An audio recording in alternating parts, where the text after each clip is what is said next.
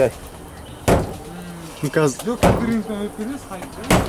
он бірінші маусым күні түнгі сағат 12-ден асқанда құтқару жасағының кезекшісіне суыт хабар түседі. Гагарин көшесінен хабарласқан тұрғындар дәретхана тесігіне жаңадан туылған шақалақтың құлап кеткенін айтқан. Оқиға орнына бес құтқарушы бір арнайы техникамен аттанады. Дәретхана тесігі тар болғандықтан құтқарушылардың бірі оны кеңейту үшін үлкен балғамен ұрғылап жатыр.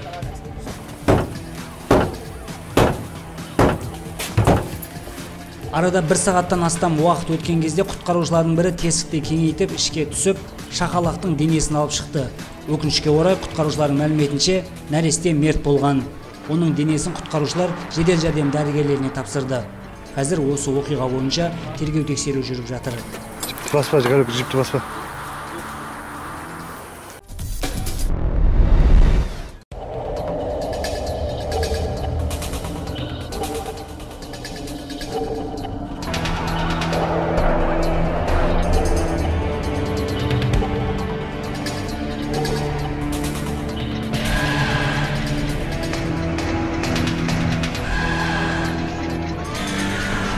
Сарыағаш ауданында кешенді оқу жаттығу өткізілді.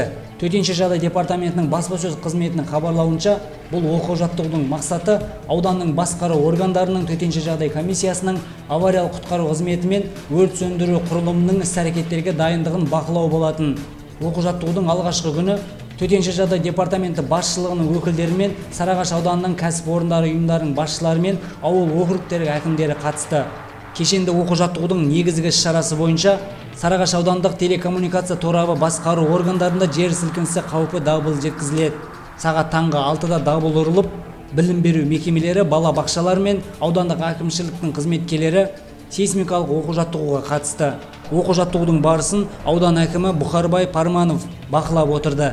Төтенше жағдай сценарийіне сәйкес арнайы қызметтер мен өрт сөндірушілер ғимараттардан адамдарды құтқару тәсілдерін көрсетті. Жауапты мамандардың пікіріне сәйкес оқу жаттығу өз деңгейінде өткен.